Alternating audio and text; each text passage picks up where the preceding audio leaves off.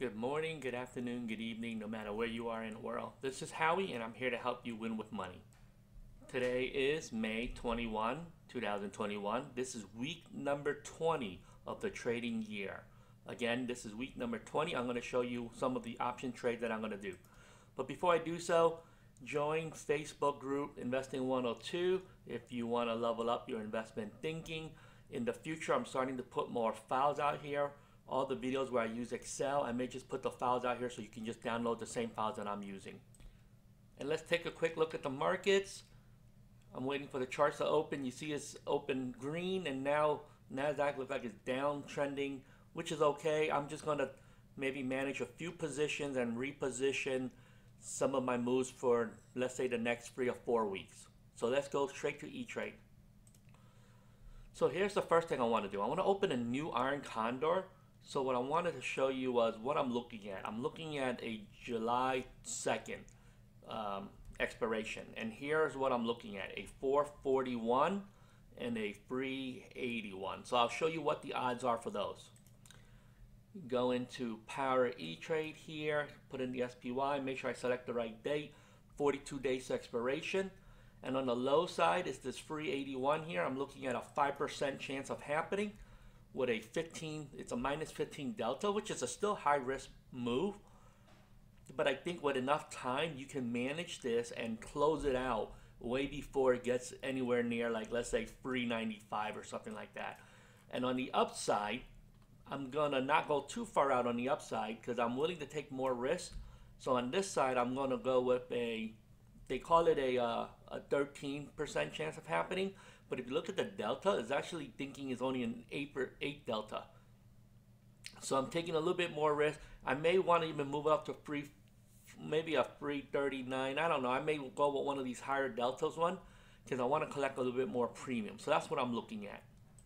So I decided to move it up a little bit and we'll try the free 49. I will make more money on my 401k plan. I, I could lose on this option bet, but I'm okay with that. Sometimes that is the strategy that I use is use this as a slight hedge and if I'm wrong on this, I'll make money on my 401k plan. Okay, and just like that, the 6 one across and then I actually end up closing my June 4 one so I made profit on that. Was a small profit wasn't a lot and then I opened a new one for another credit. Here's another move that I have. I have an Iron Condor with a short call for 445 on June 25th that's about 30 some odd days away. I'm gonna roll this a little bit closer and I know this is a little bit weird. Why not just let time go out? I want to play it because I'm okay with the S&P hitting new highs.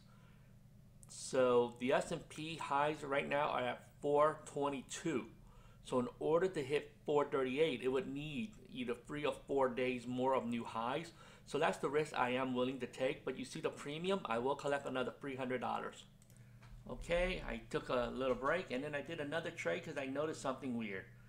I made one, as I was rolling down my Iron Condor, I made one of them $15 wide by accident and it took another, I think I had 11 contracts.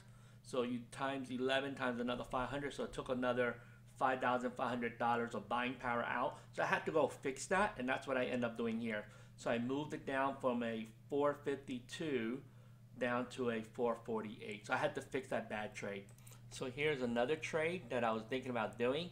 And again, markets are up right now. They're running out of time. There's about 17 days left to expiration. I'm letting this ride longer than it normally does. And I want to do something. This is sort of the untested side, but the untested side has a lot more um, implied volatility on this side. The call side does not. So I'm going to show you what I'm going to do here and a quick look at the odds. Make sure you use S&P 500 here.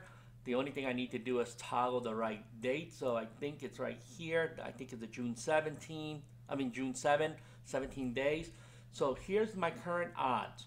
So when I created this a couple weeks ago, the odds were much higher. It wasn't 1%, but the delta still at a negative 9.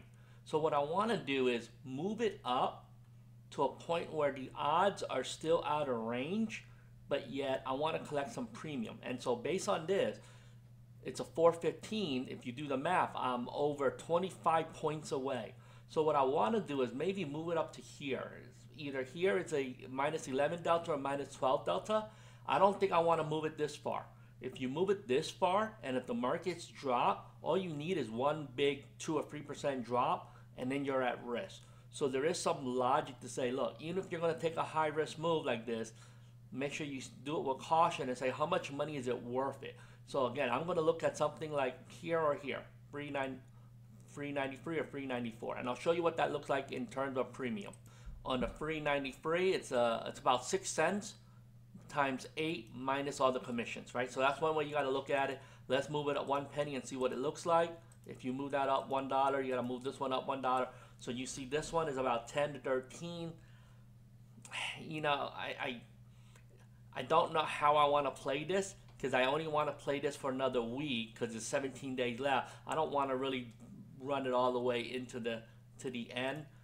The only problem I have with doing this here is let's so I have to pick one. I don't think this one's going to be worth it. Actually, if it's for seven cents, eight cents, maybe I'll I'll, I'll play around with it and I'll see what I end up deciding. And there you go. The trade went across. I decided to go with the 194 and I did collect a small premium. Again, it's not a lot, but I'm okay with it. I think it was um, 9 cents or 10 cents per contract. Okay, the market's closed. S&P ended down today. Dow is up, Nasdaq is down. That's all for today. Hope you enjoyed this video. Don't forget to hit the like, subscribe button. Let me know how you're doing. And don't forget, let's do this together. Let's do this $1 at a time. As always, have a profitable day. Bye bye.